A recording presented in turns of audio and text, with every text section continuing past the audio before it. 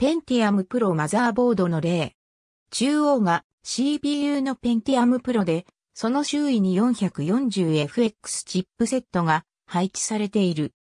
インテル 440FX は、ナトマの名称で知られるインテルが製造し、1996年に発売したペンティアムプロ用チップセット。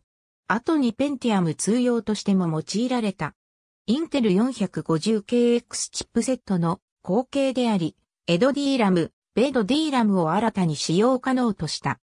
加えて、L にキャッシュを CPU が持つことにより、チップセットから省き、過去に発生していたキャッシュメモリによるトラブルを解決していた。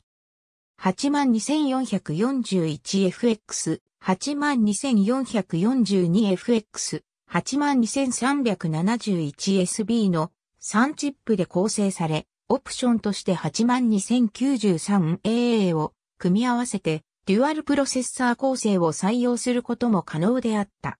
後継チップセットは1997年に発売されたインテル 440LX である。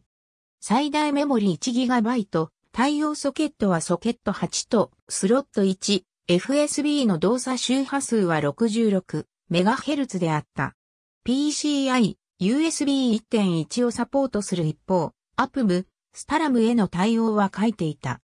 ABCDEO 原祐介。ロードマップでわかる。統制プロセッサー事情。第27回 PCI 登場から 440BX まで、インテルチップセットの歴史その1。ASCII.jp。角川アスキー総合研究所。